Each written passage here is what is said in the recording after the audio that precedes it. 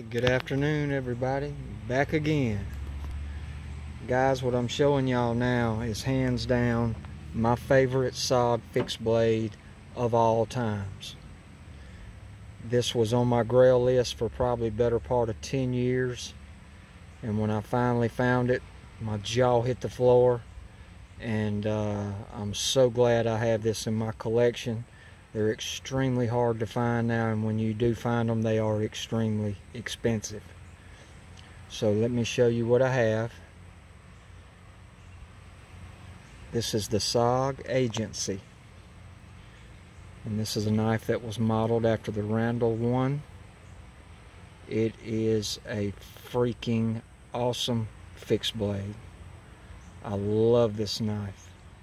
It is so classy and so reminiscent of the Randall blades from World War II in Korea. It is just an amazing piece. I have never used this.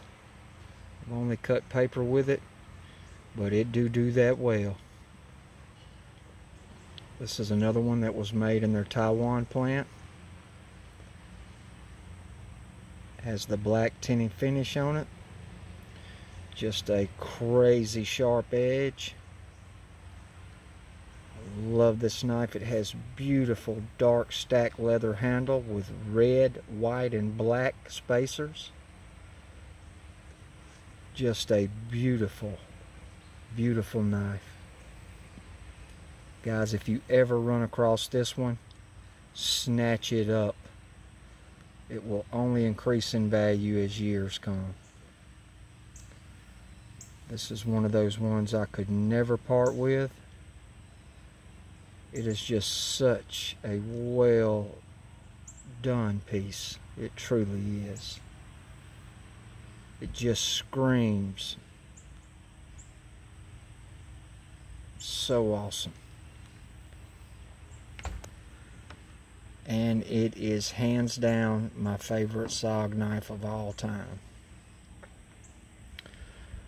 All right, I appreciate y'all watching some of my SOGs today.